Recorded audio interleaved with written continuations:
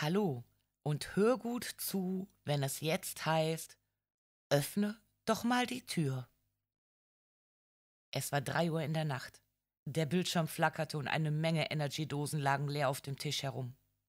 Eigentlich hätte sie schon längst schlafen gehen müssen, aber es waren Ferien, und bevor sie zu Bett ging, wollte sie sich noch einige Videos auf YouTube ansehen. Bevor sie allerdings das Video starten konnte, erschien eine Nachricht auf ihrem Bildschirm. Es war ein Junge, den sie über das Internet kennengelernt hatte.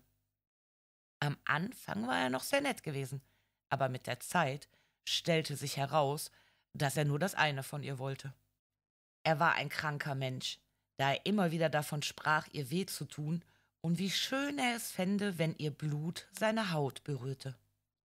Als das alles anfing, hatte sie den Kontakt abgebrochen, doch er versuchte es immer wieder und ließ sie nicht in Ruhe.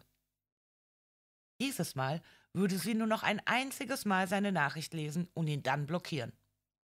Sie öffnete den Chat und las. Wollen wir uns mal treffen?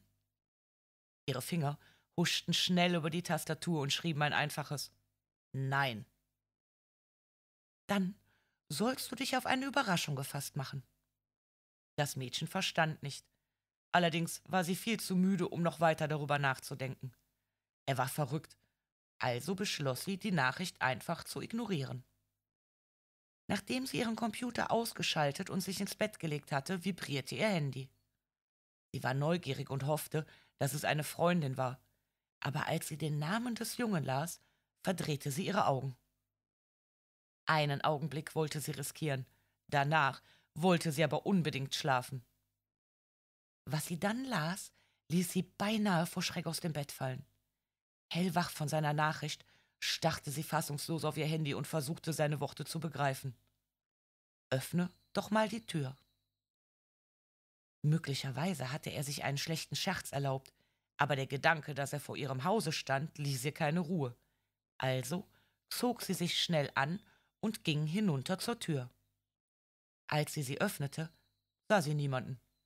Selbst als sie ein Stück auf die Straße ging, war keiner zu sehen.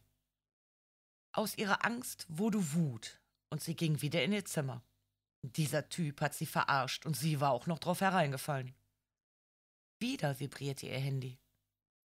Dieses Mal würde sie ihm gehörig die Meinung sagen und dann den Kontakt abbrechen, was sie schon längst hätte tun sollen.